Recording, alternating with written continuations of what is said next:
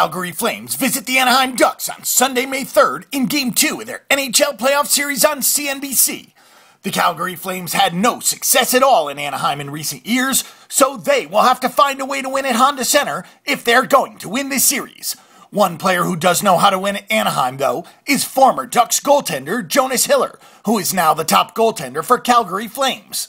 The one player who could decide this series is Calgary goaltender Jonas Hiller who spent seven seasons with the Ducks before he signed with Calgary for this season.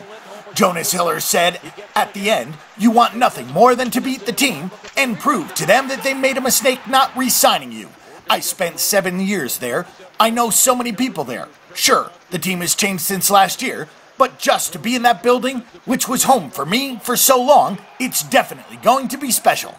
The Anaheim Ducks don't have great overall statistics, as they were just 11th in the league in goals per game and just 20th in goals against. What Anaheim does is play great in the third period and win close games.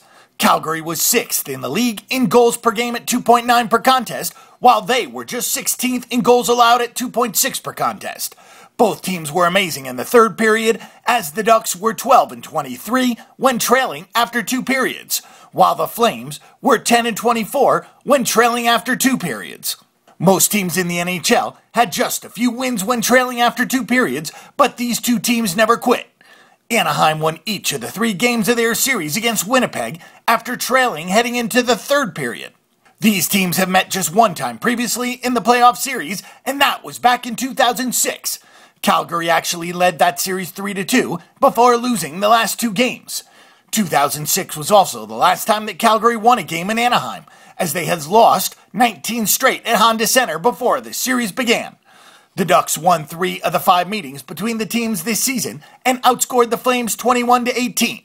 10 of the last 14 meetings in Anaheim have gone under the total. For our pick, more information and statistics on this game and every other game this week, check out the Bang the Book Betting Center. And remember that the Bang the Book Betting Center is your best resource for information before you make your weekly assault on the sports books.